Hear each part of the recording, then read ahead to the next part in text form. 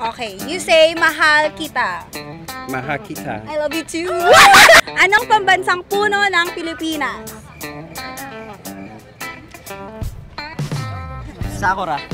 Sakura. Sap. Sakura. Kabulugan ng buwan, buwan kabulugan. Yes. Oh, sabi. Kabulugan ng buwan, buwan ng kabulugan. Pinakamataas na bundok sa Pilipinas. Taal?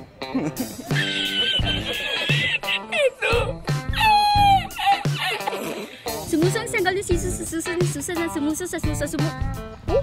Sumuso ang sanggol sa susan... Oh, di ba nahirapan ka din? Anong lugar? Ayun. ang tinaguriang... di ba?